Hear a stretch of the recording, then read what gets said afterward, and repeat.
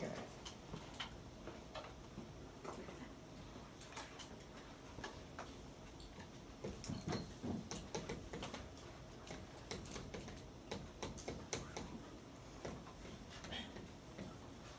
So epithelial tissues, the form of the word epithelial is an adjective and it describes the type of tissue. It's always going to be one of the four epithelial, connective, muscle, or nervous. And sometimes if you see the term epithelium,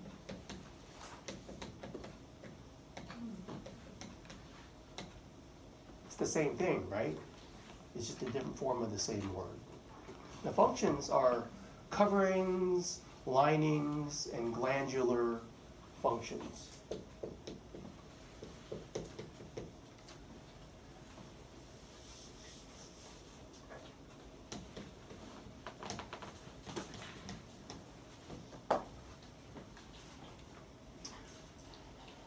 Coverings like skin. Skin is an ep- uh, epithelium.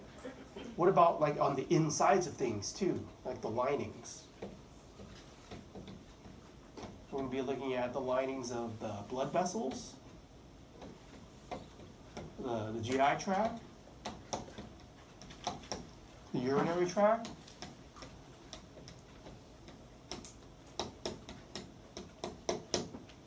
the respiratory tract,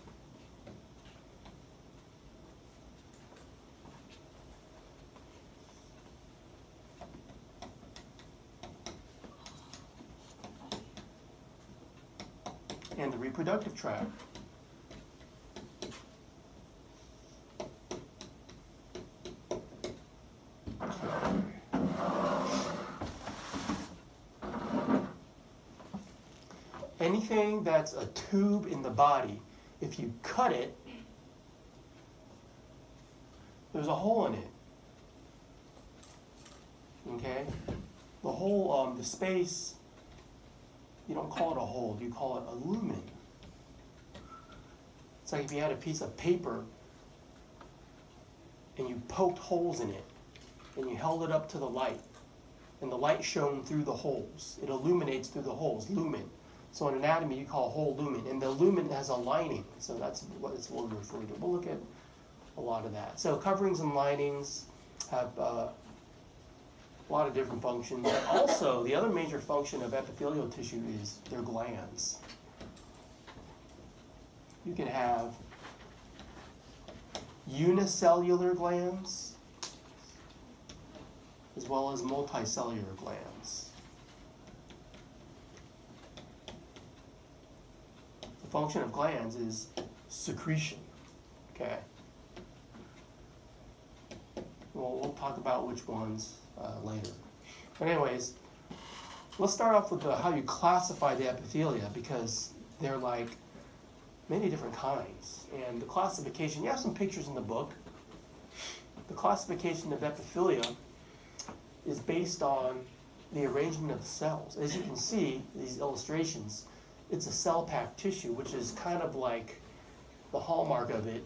That makes this uh, kind of tissue good for being linings and membranes and also as glandular. There's no fibers. Usually, for tissues, you, you think of the fibers that make up the tissue.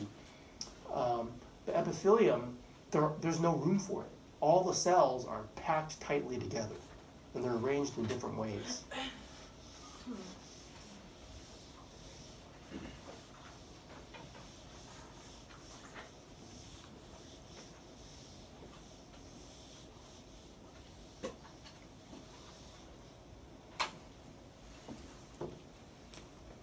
So classification.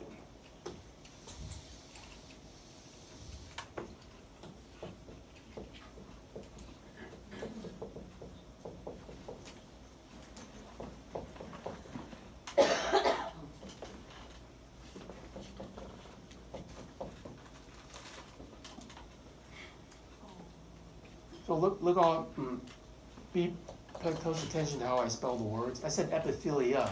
Now in anatomy, if an A is at the end of the word, that pluralizes it. That means many different kinds. What's the singular form of the word? You already wrote it down. With the UM, yeah. Um, okay. So you can classify based on arrangement.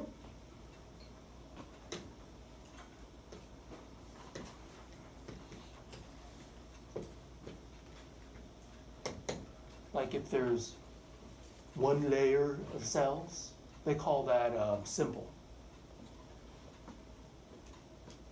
Call this number one by arrangement.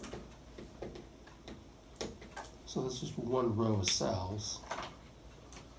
So imagine you have a, a single row of cells there. So red is like the cell membrane. How about I use green for the, the nucleus?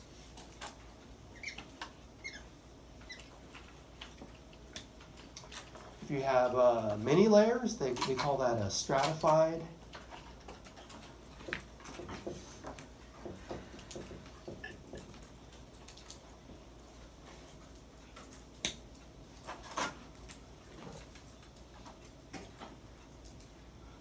So let's say you have a few layers of flat cells.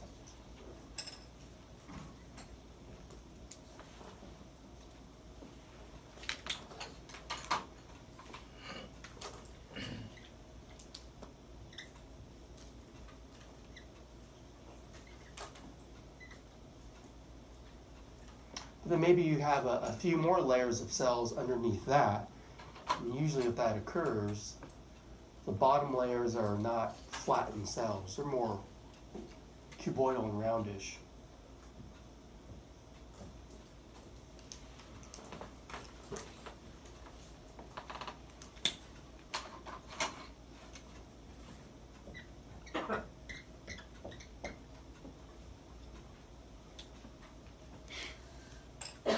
There's also an arrangement called pseudostratified. It's not shown on the slide. If simple is one layer and stratified is many layers, pseudostratified is one layer, but it has the appearance of stratified. It looks like it's many layers, but really it's one layer. It looks something like uh,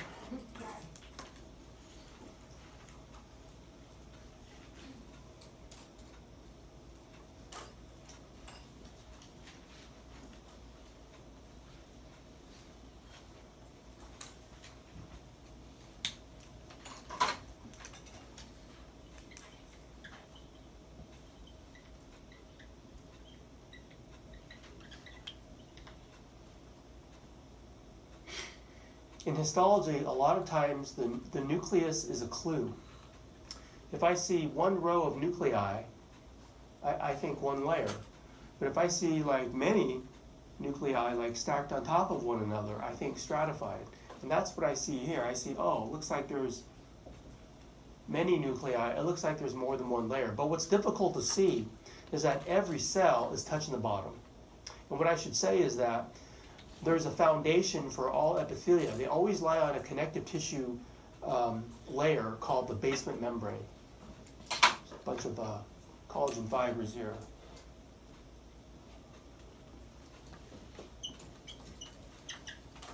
Basement membrane.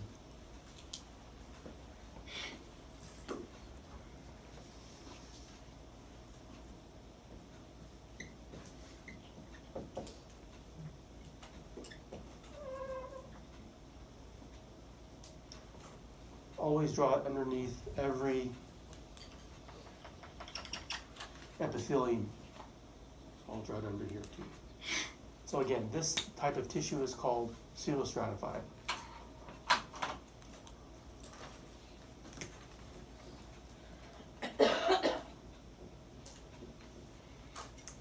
Let me write it all out. I don't, I don't want to hyphenate it.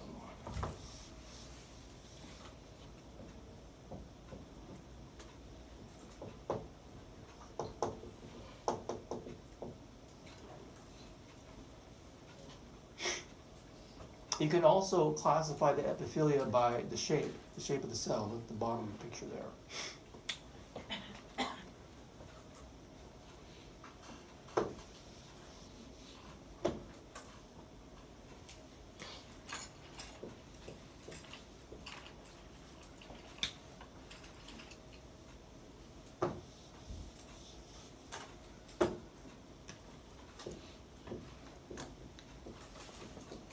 Squamous means flat. That's one type of epithelial cell. And I kind of put it right next to this, this here. It would be simple squamous because it's one layer of flat cells. These cells are also flat, and you would call it a stratified squamous. I realize that the cells I drew under it are not squamous, but you only consider the apical layers.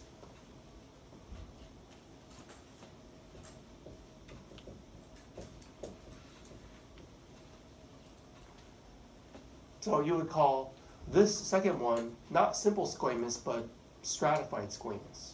Okay. You have other shapes of cells. Um,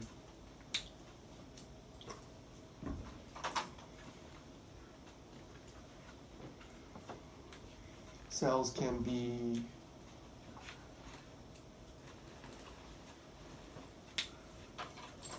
shaped like columns with these large oval cigar-shaped nuclei. We call that columnar-shaped cells.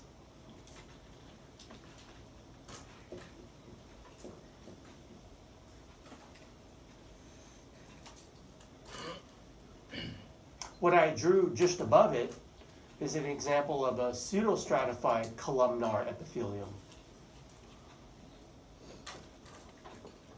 You usually see that a lot for the pseudostratified. There's always pseudostratified columnar somewhere that we study. Then you have a shape in between a column and a flat cell. It's more like a cube shaped. So it's kind of more square, not columnar.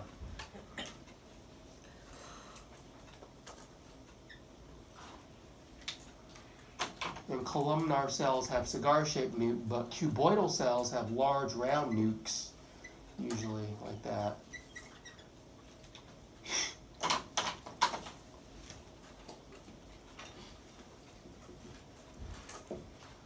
Cuboidal.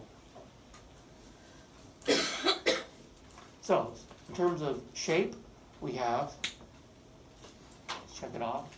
We have flat, squamous, that's one. Columnar, that's two. Cuboidal, that's three. And there's a fourth type that's kind of an exception. It's called um, transitional epithelium.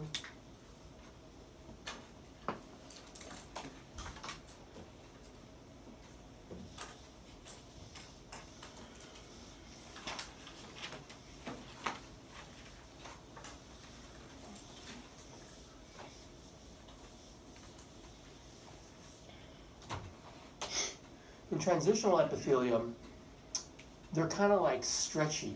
You could stretch them out, like the inside of your bladder.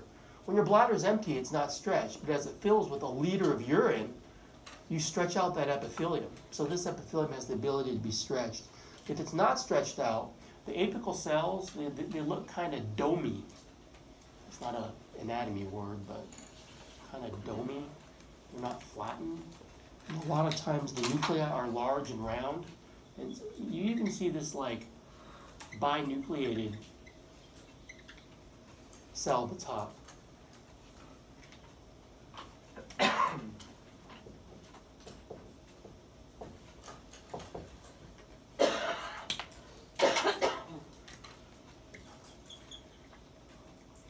None of the cells are squamous. They're all kind of like I'm drawing here.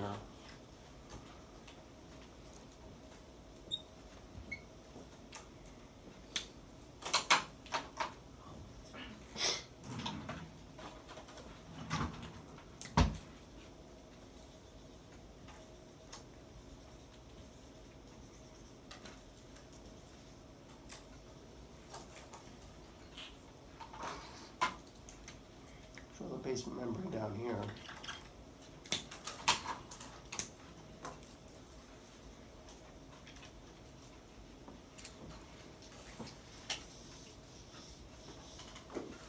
So what I drew, is it simple or stratified? Is it one layer or many layers?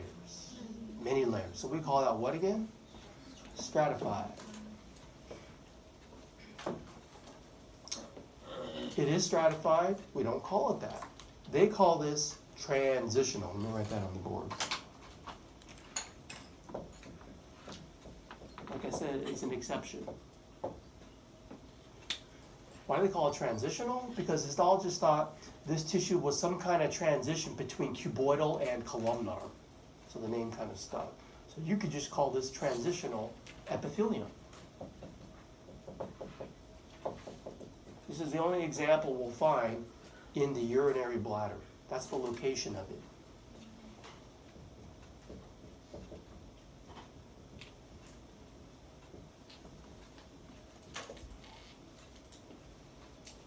it. excuse me. So let's say that the bladder fills with urine and you stretch that tissue out. It kind of flattens a little bit as you stretch out the bladder wall. So stretched, it may look like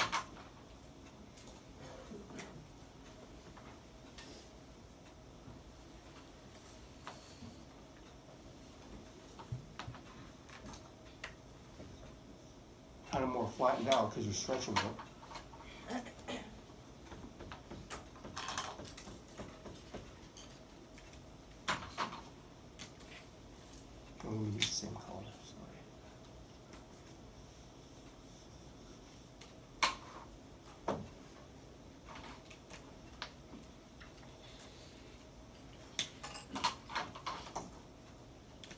So that's empty bladder. Uh, say this is full bladder, or I'm sorry, this is empty, that's full. Different pictures next up, sorry about that. Full, empty.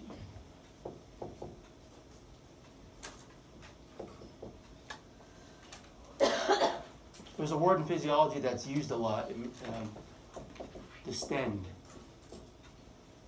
That means stretch it out. I use that word a lot because I see it all the time. Wait, does that make sense? Why I drew it like this? Why a full bladder looks like that? Because you stretch out the whole bladder wall. I'm not drawing the whole bladder, right? I'm just drawing a piece of the wall. Um, it's full of urine. Well, anyways, okay, so we categorize by, um, you know, arrangement, by shape.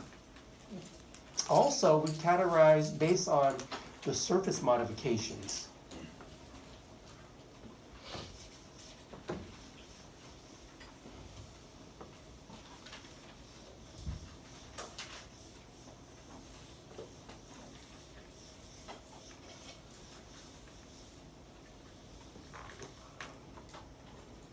It's like a third category. One is by arrangement, two is by shape, three is by surface modification. And we put it all together. So call this number three, surface modification.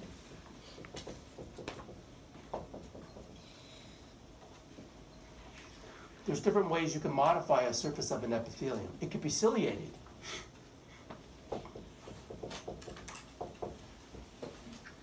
There could be a microvilli brush border.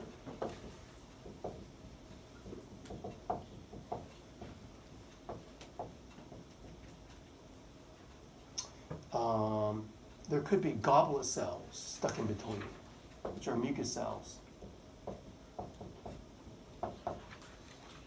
It could be keratinized for waterproofing.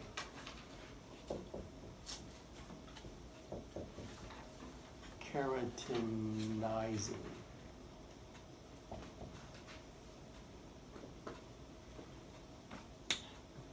Usually, we see a ciliated epithelium be one that is also pseudostratified and columnar. So let me kind of draw it. Pseudostratified, columnar, columnar cells, but they appear to be stratified when they're not. We just call it pseudostratified. So let me draw that again.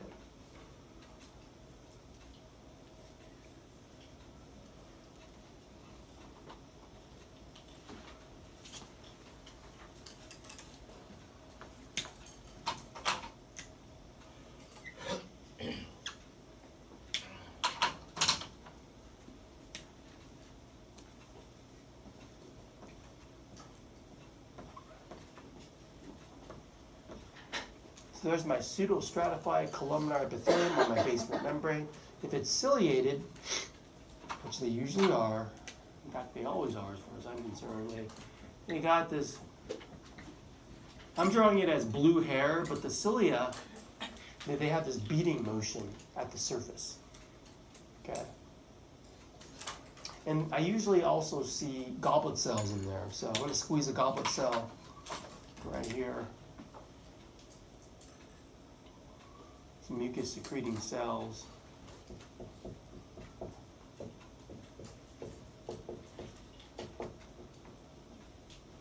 And they're stuck in between the epithelial cells. So I'll keep drawing more epithelial cells around it.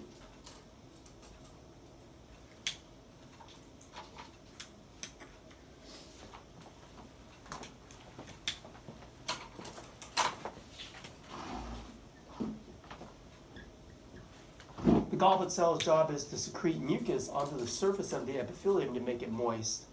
And we see this in the trachea. So, secrete mucus layer on top. That's kind of their function. This big mucous membrane is called, I'll, I'll give the full name. You will call it a ciliated pseudostratified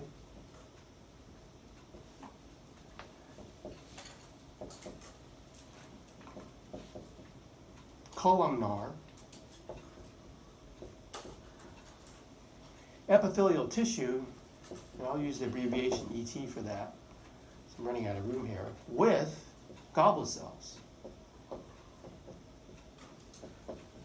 So do you see how we do that? We, we list the surface modification first. You don't have to, but I, I tend to do that. I tend to see that. Then you put the kind of arrangement, it's pseudostratified and then the shape, columnar, and it always goes in that order. Never reverse it. it it's always pseudostratified, then columnar. Simple cuboidal, okay, it's always that order. And then epithelial tissue, the ET. And then I put another surface modification at the end with the goblet cells. Okay, and if this were a quiz, I would expect to see everything for full credit.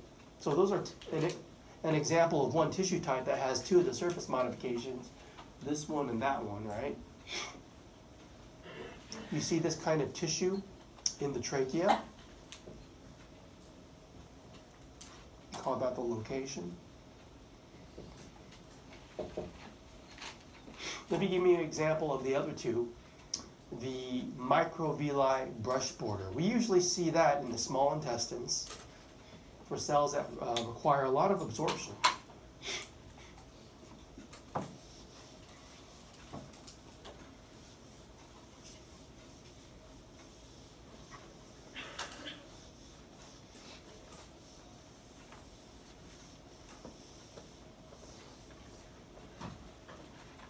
I'm going to draw a simple columnar epithelium.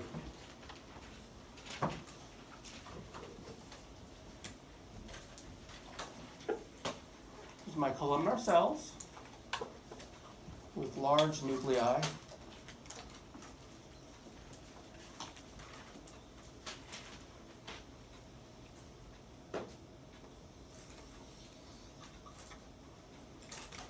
And I'm going to draw like a little brush border here, the top of these cells.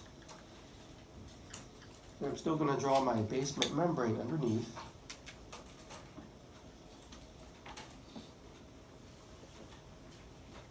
The microvilli brush border is a little, what looks like a little brush border. What's really happening there is the top of the cell membrane is all curvy, and I think I mentioned this before in a previous lecture. If you can really look at it, it's what you're doing is the microvilli. Villi means finger shape. Okay, so the microvilli is a folding of the plasma membrane to increase the the absorptive surface area.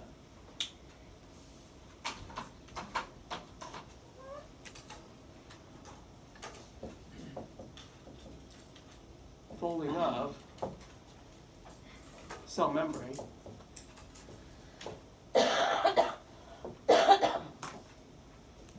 increases surface area.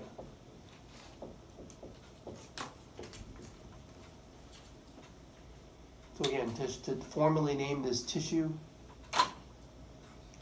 it's a simple columnar epithelial tissue you know, with a microvilli brush border.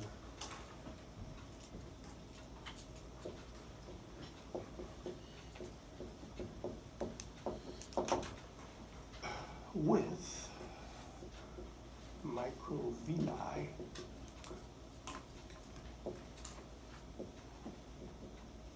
brush border. So in naming tissues, if you see it, you have to name it, okay? Obviously, that's why I'm presenting them to you. Or the last one is a keratinizing uh, modification. We see that on skin, okay? This one we see lining the surfaces of the GI tract. So let's say small intestine as an example location for this tissue type. So location,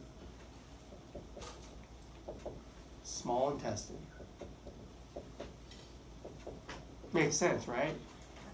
You gotta absorb all the food you ate, so you want more of a surface area on the lining of the lumen of your intestines. So it might be like brush border, keratinizing.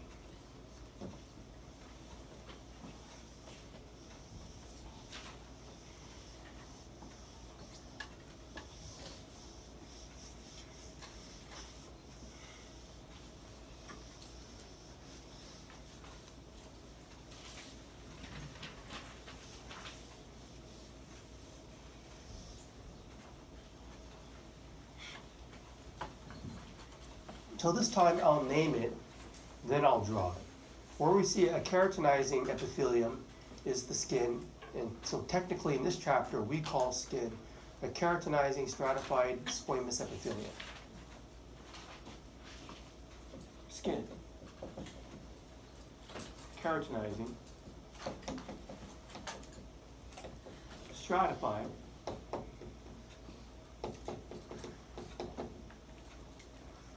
Squamous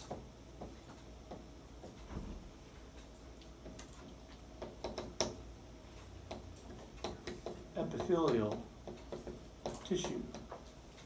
This time I, I wrote it out.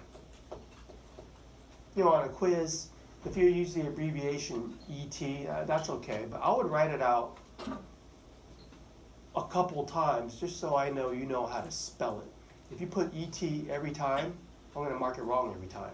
So you better like do me a favor, just spell, write it out a little bit. I got to know that you know how to spell these things. Okay, well, let's draw it.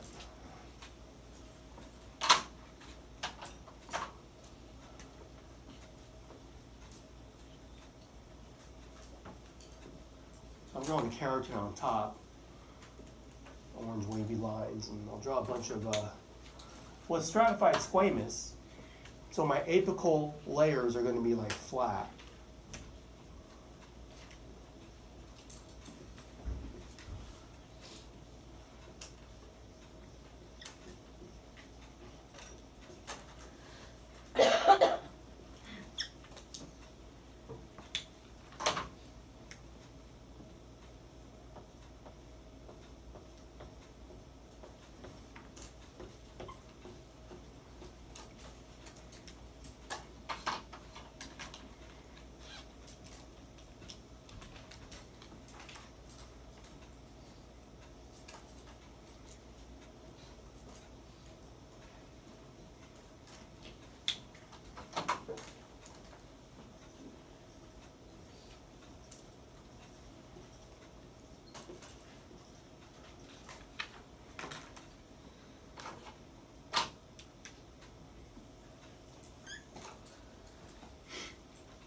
I've been using blue. What's my blue on the bottom there? Basement membrane, always on the bottom. But this on the top was the be clear. The function of it is waterproofing.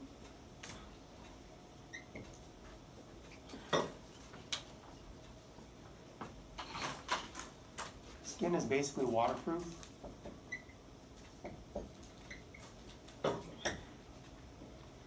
And when we talk about skin, we have a whole chapter on integument. This is basically, you know, the epidermis of skin, and well, the, the cells on the bottom, they're like the younger cells.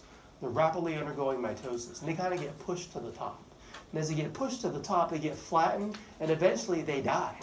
And so, um, keratin is basically a bunch of dead skin cells that have been become fully keratinized, and they're, and they're really good for waterproofing skin. Okay, I, I want to move on and get past that. Third slide here. Let's talk about other features of epithelium besides how we classify them. Um, so I say polarized, avascular, regenerative, just to remind me those are the characteristics I want you to know.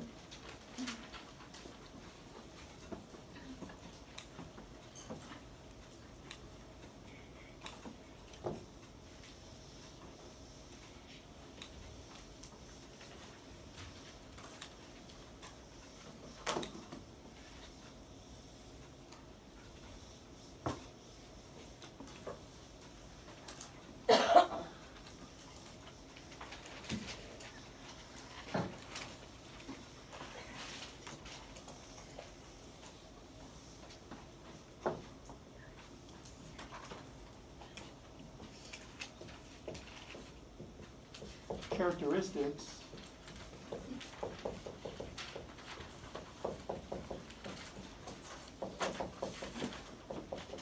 of the epithelia.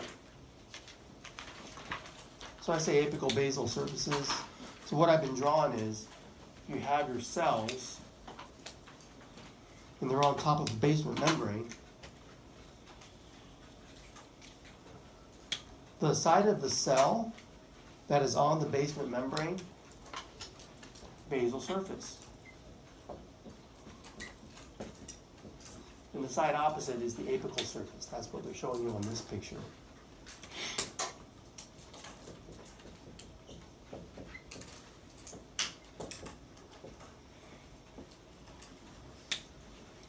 Um, now, because you have that arrangement, these two sides, top and bottom basically, the organelles inside um, are, are usually polarized one way or the, the other.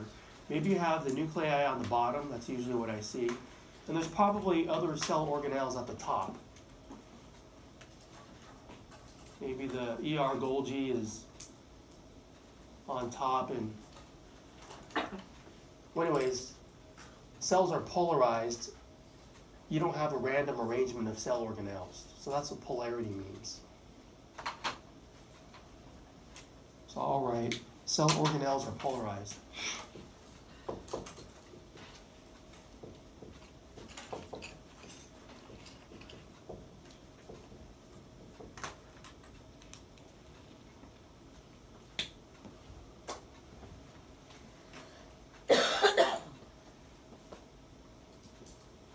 So here's a picture of um, a stratified squamous epithelium. Okay. And so let me um, point out to you why it's stratified and squamous. When you name um, the epithelium, consider only the apical layers. See these top layers? They're stratified. These are not stratified. What would you call from here to here? This is the basement membrane. I've been drawing as a blue line. well, it's not very accurate, is it? This is really what it looks like. But this is a stratified epithelium all the way from top to bottom. This is basically um, a non-keratinized stratified squamous epithelium. You don't have to put non-keratinized. If it's not there, you don't have to put that it's not there, essentially. Some people do. Okay, but if you see keratin, you have to put it, but there's no keratin on top of here. And the point of me showing you this is there's no room for fibers or blood vessels or anything else. So that's what avascular means. Epithelial tissues have no room for blood vessels. Let's write that. They're avascular. Blood vessels have to go up to the bottom, if that makes sense. You have to send a little blood vessel up.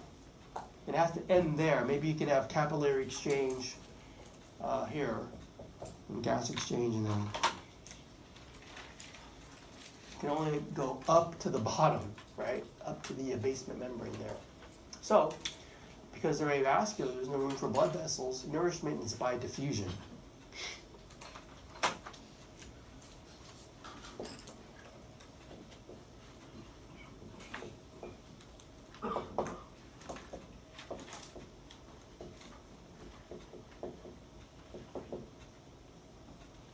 the second thing I had on that slide is that they're regenerative. It's another characteristic of this tissue type. Um, some tissues don't regenerate well. Okay, they're amitotic, but epithelial tissue are highly regenerative. Okay? So in a, a stratified epithelium,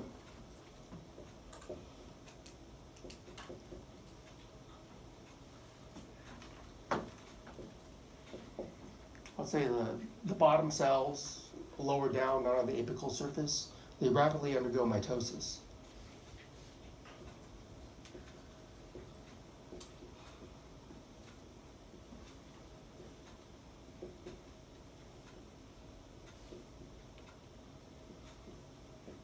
to replace uh, top cells.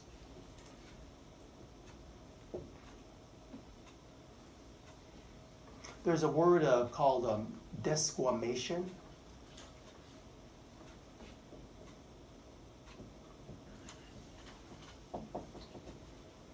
D means just take off the top layers. So, so when you desquamate, the top flat layers are getting rubbed off on a regular basis and they're continually replaced by the bottom layers which are undergoing rapid mitosis.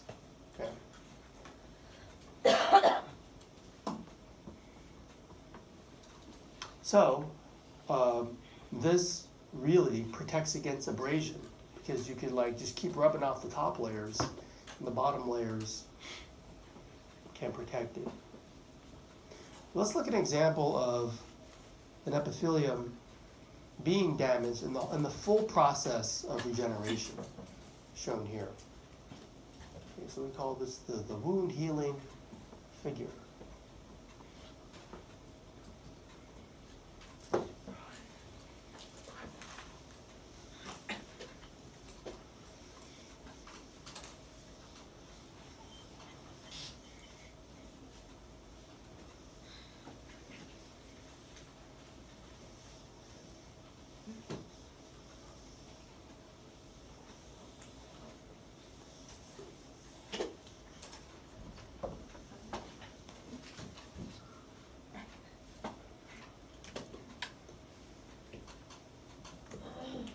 Wound healing.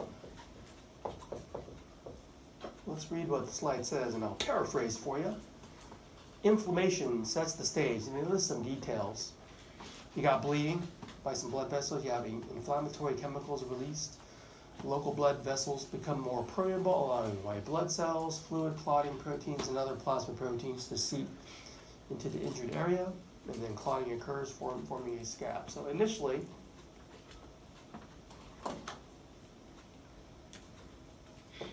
Keyword is inflammation.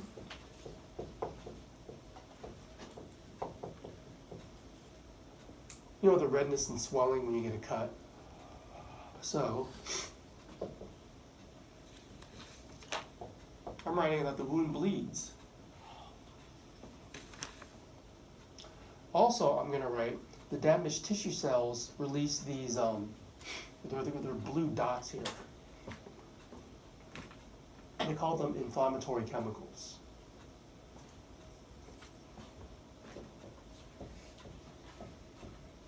Damaged tissue cells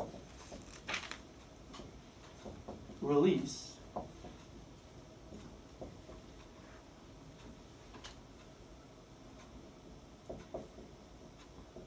inflammatory chemicals.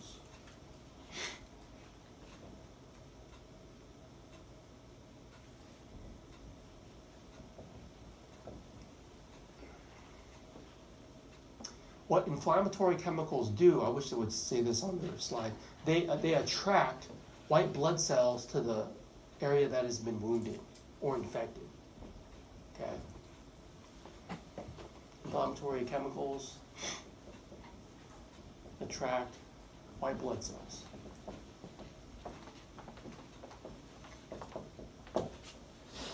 That's what you see pictured here because all of these white blood cells, they're leaving the bloodstream. They're literally jumping across the cell wall and they're venturing into the skin to help fight infection if there is an infection. Okay, well, the next step is organization restores the blood supply. The clot is replaced by granulation, granulation tissue, which restores vascular uh, supply. Fibroblasts produce collagen fibers that bridge the gap. Macrophages phagocytize dead and dying cells and other debris, and surface epithelial cells multiply, migrate over the granulation tissue. Okay.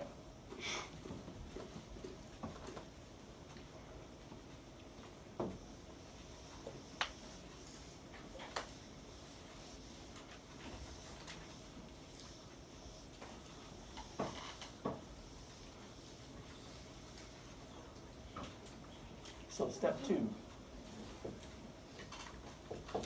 Restore blood supply.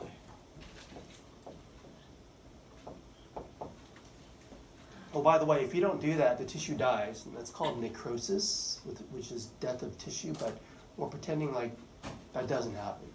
So when you restore the blood supply, you replace the clot, which is a temporary seal, with scar tissue, okay? clot replaced by granulation tissue.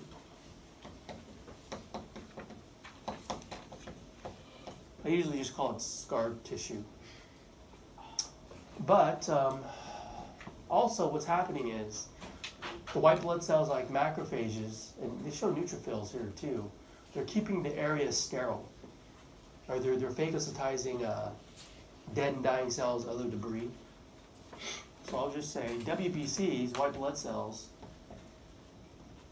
keep wounded area sterile.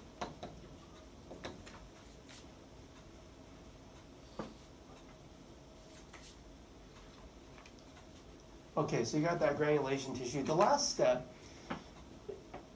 is regeneration and fibrosis affect permanent repair. The fibrosed area matures and contracts. The epithelium uh, thickens, and a fully regenerated epithelium with an underlying scar uh, area below is what results there.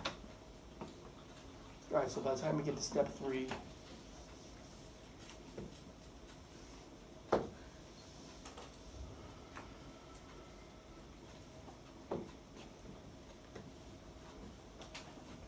just going to call it regeneration. By this time, the epithelium is fully regenerative.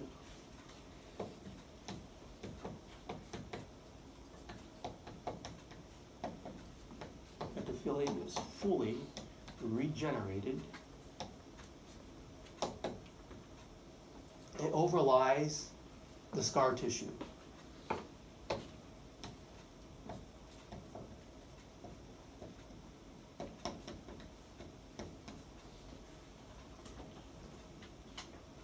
It's important to note that the fibrosed area contracts to draw the wounded tissue together.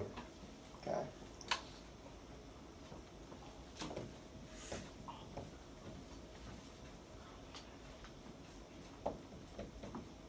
Fibrosed tissue contracts.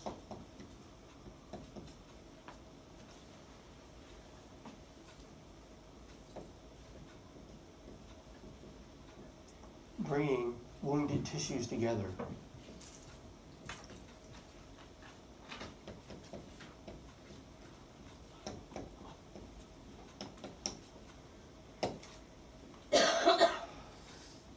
So that's what sutures do.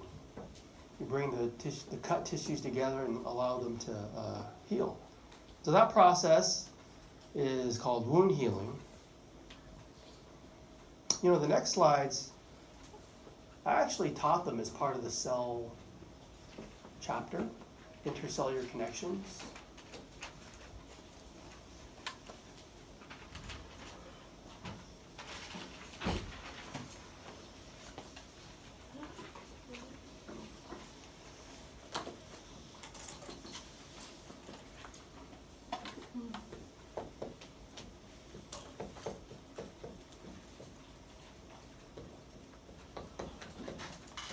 So I'm just going to, I'm not going to reteach them. I'll just say in your notes, go ahead and review if you have to, these tight junctions.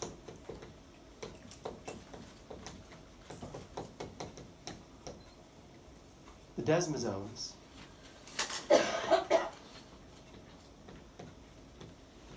as well as the um, gap junctions.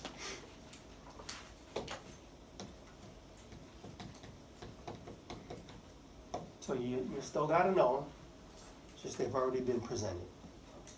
All right, well, uh, I want to talk about seven epithelial tissues that um, I teach in this unit. And um, yeah, I'll, I'll go in order, okay? So I tell you how they're classified, so those seven types should make sense. And, but now we'll kind of look at examples of them and be more thorough about their locations and functions. We'll start with examples of simple squamous epithelial tissues.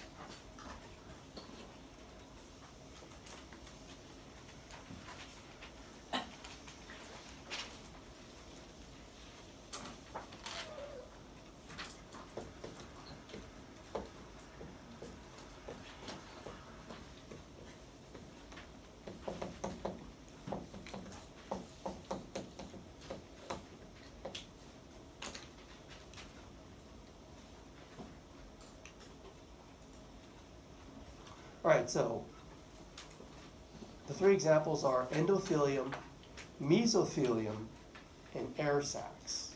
So whenever you have a simple squamous ET, you want to think about the, the function. It's only one layer. So that makes it a good spot to have things diffuse across. Okay, so generally speaking, that's the function of a simple squamous epithelial tissue. Fn is my shorthand for function, um, basically.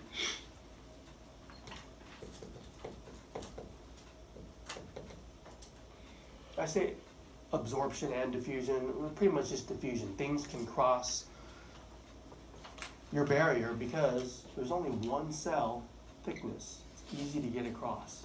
Okay? So there's two cells together there, and I'm just kind of, easy to go straight across if you're a molecule. Now, the examples we have are endothelium,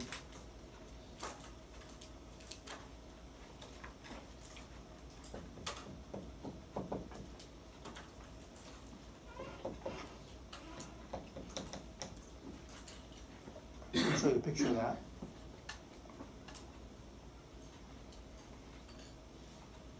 You'll learn um, blood vessel structure in 431, but basically what you see there, the endothelium is a simple squamous epithelium that's the innermost lining of blood vessels.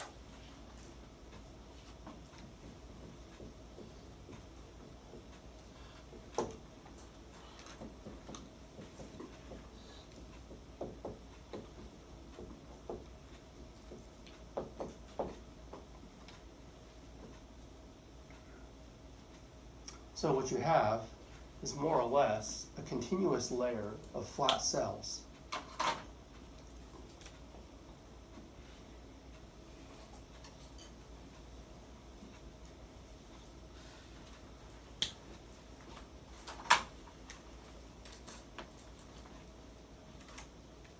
And blood flows across it.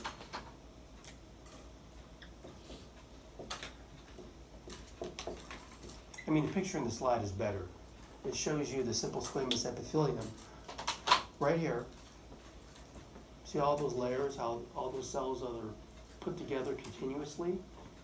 You have many layers outside of it, external to it. Those are called the tunics. The tunica intima is the innermost layer. Okay, so that, that includes uh, the endothelium there. So I'm I'm gonna note that on the board here that the endothelium is part of what's called tunica intima. A part of tunica intima.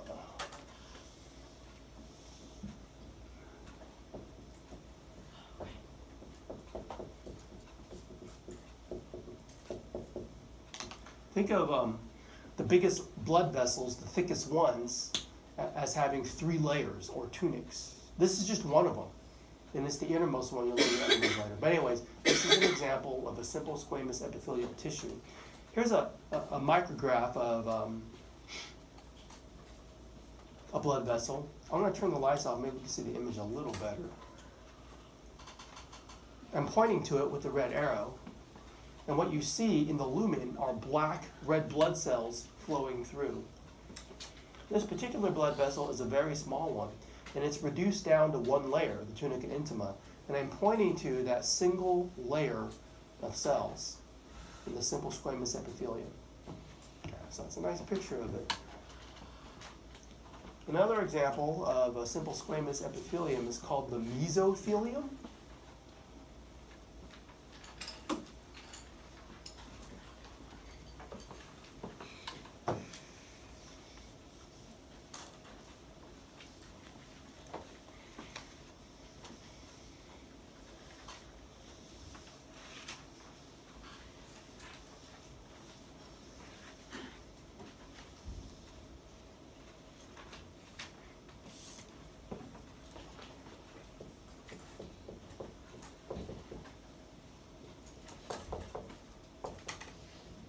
Mesothelium is a serous membrane.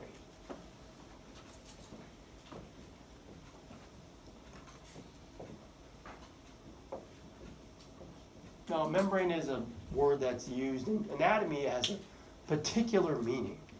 A membrane is an epithelium with a connective tissue basement membrane underneath. That's it.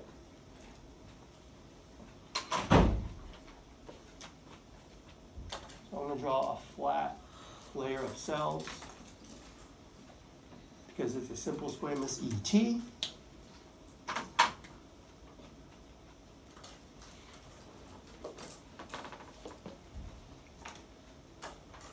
I'm going to draw my connective tissue basement membrane underneath.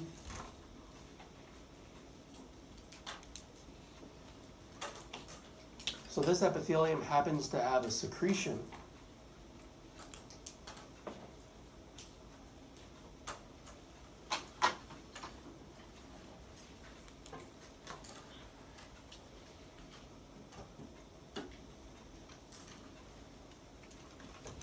that secretion, I'm using green, which is an odd color, but um, it's called a transudate to make it moist. Transudate. And where you find these are the linings of your body cavity.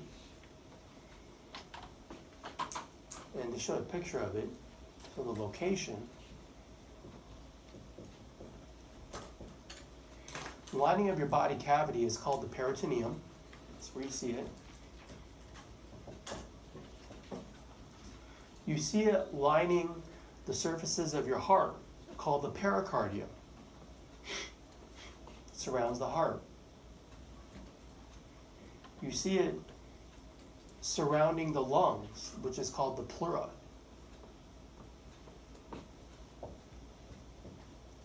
So this is what we have, what, what we call the three P's in anatomy. The peritoneum, the, the pericardium, and the pleura, they're all lined with the mesothelium. It's a serous membrane. So uh,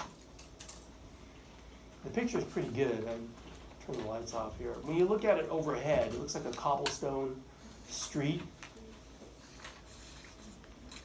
Well, here's a picture I took. It's one layer, and all the cells are cobbled together. Okay, that's what it looks like. That's a mesothelium. Okay. It's not an endothelium, it's a mesothelium, but we, you call them both simple squamous ET. All right, here's an example of simple squamous epithelium in the lung.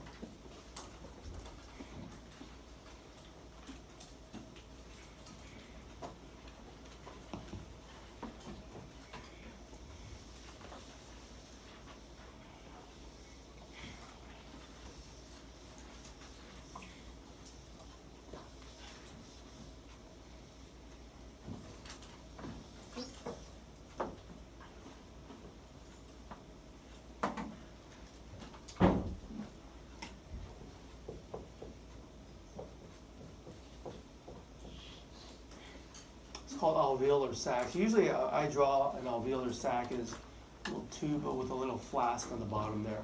It's literally a sac. It's a tiny sac that you bring fresh air into. Fresh air. So So you have oxygen for gas exchange, but anyways, the sac is lined with the simple squamous epithelium. If I could draw kind of like um,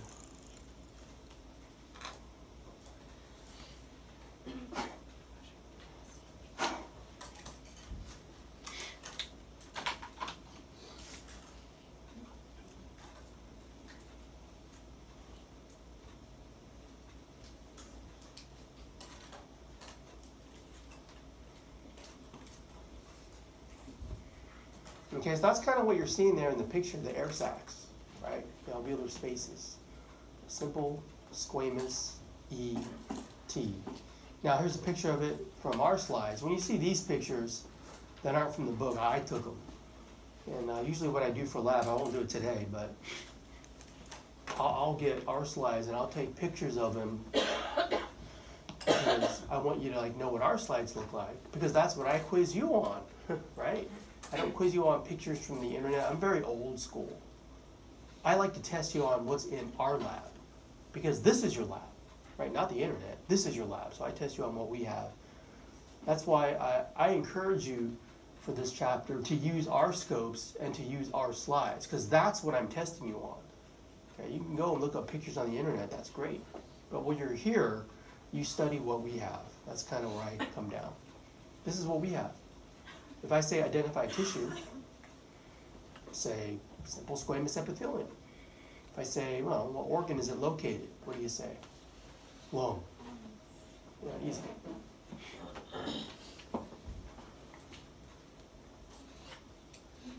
All right, moving on.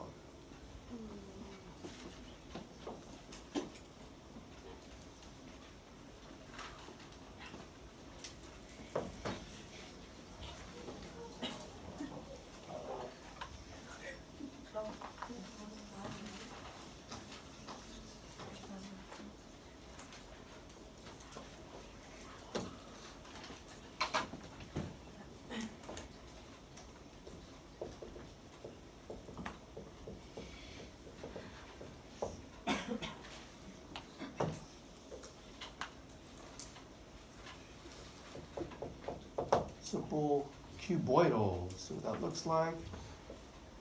Simple cuboidal epithelial tissue. Uh, a good, good example is kidney. Kidney.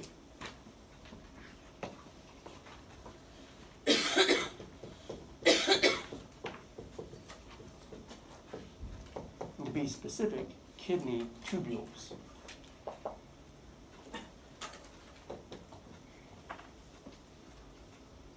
Understand that the kidney is a filter organ. There's the glomerular capillaries that filter all your blood plasma. And all that filtrate, the filtered blood plasma, has to be processed by the kidney tubules. And you always want to absorb all the nutrients that you want to conserve and you don't want to lose it to the urine.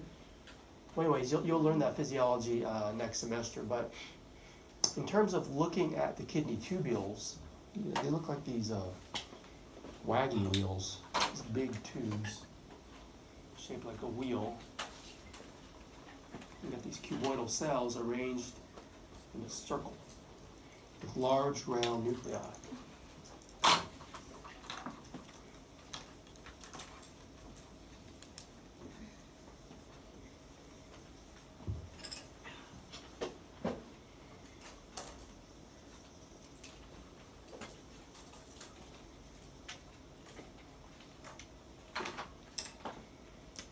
I want to put the basement membrane around that. Okay. So that's a simple cuboidal ET. Okay. That's if you cut a tube in a cross section. It looks like that. You could cut a tube longitudinally. Okay, so you may get this look.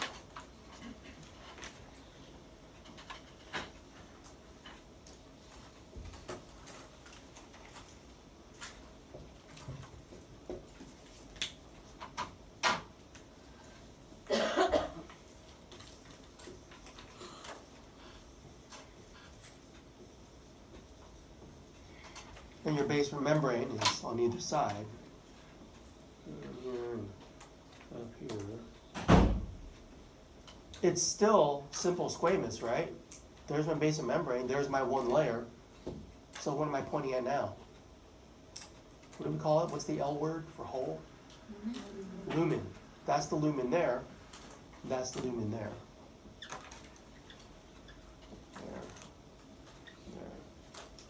Depending on how you cut the tube. If you just look at that picture, I mean, you don't know what you're looking at. It looks like a stratified epithelium to me. But if, based on what I just told you, you know what to look for, it's simple. Here- here- here's one cut tube. It's a simple squamous ET. Here's one cut tube. It's more or less cut longitudinally. But it's, but it's all simple squamous ET. There's no stratification here. Okay, that's in the kidney. A picture I took. What's the space called again? The lumen. This one was cut longitudinally, so here's my simple squamous, not schema, simple cuboidal ET, sorry. You know, there and there. You see my wagon wheel there? Something you see a lot in the kidney is that the simple cuboidal ET has a brush border, a microvilli brush border. See how it looks all kind of like fuzzy? If you see that, you would have to put with microvilli brush border. So let me add that to your kidney, you always see it. Not always, but it's there.